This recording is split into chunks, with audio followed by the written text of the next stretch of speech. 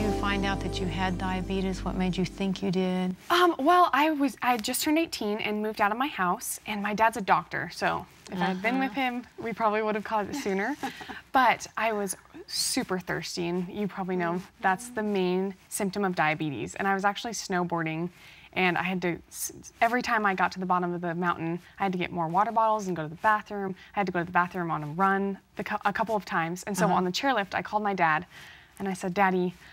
I need to go to rehab because I'm an alcoholic. I'm addicted to water. And he started laughing, and I was like, no, Dad, I'm drinking like 15 gallons of water a day. Wow.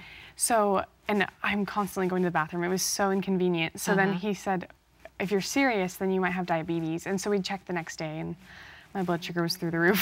Yeah, and So what was your thought process like when you found out that you had diabetes? when I first found out I had diabetes, I, it, I was devastated and I mm-hmm. had a bad attitude about it. I, I thought it would go away if I ignored it. So I just didn't test my blood sugar and didn't give insulin. And of mm-hmm. course, I was grumpy and sick all the time and I, an emotional wreck. It was a roller coaster, blood sugar wise and emotionally.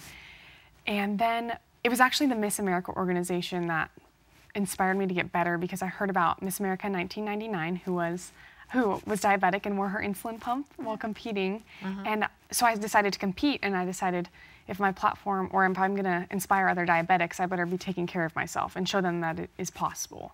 Because when you're first diagnosed, it kind of seems Yeah. overwhelming. Very difficult. Yeah. And as an endocrinologist, I take care of type 1 diabetics every Yeah. day, And I have to say thank you from the diabetes community for doing that because it's been so empowering for other patients to It's see my pleasure.